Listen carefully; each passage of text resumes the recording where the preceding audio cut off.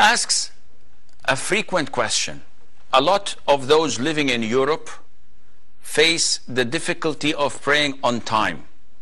And their bosses, due to racism, due to different reasons, would not allow them to pray on time.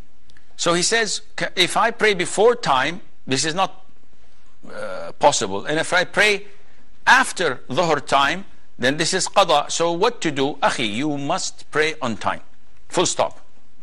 Allah says, Inna salata كانت على المؤمنين كتابا موقوتا. Verily prayer has been prescribed at given times. So you must pray your prayer on these given times. Now,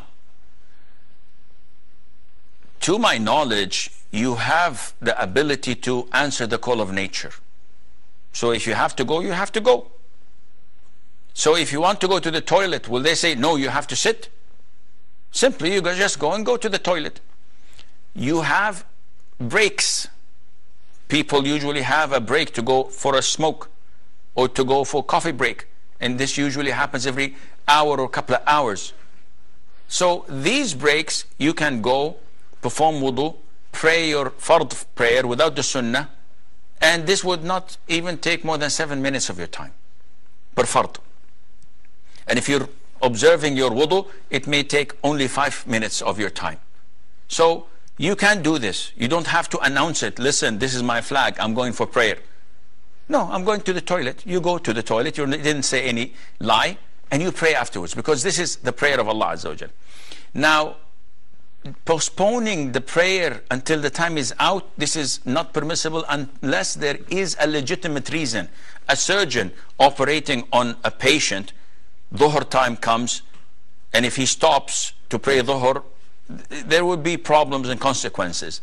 So it's permissible for him to delay Dhuhr and pray it with Asr. This is an urgent matter, and this is not every single day. A person who is having a midterm exam or the final exams of the year, and it coincides with Maghrib and Isha. So he goes before Maghrib, sunset, and it extends until Isha time. In this case, we say combine Maghrib and Isha, no problem. But for you, Akhi, this is a make it or break it issue. So you have to pray on time. There is no problem in having a compromise or an agreement with your boss that, listen, I'll stay half an hour after working hours to compensate any loss of my time. But other than that, no. You cannot delay your prayer without a legitimate reason. May Allah Azza wa Jal make it easy for all of the brothers and sisters living in Kafir land.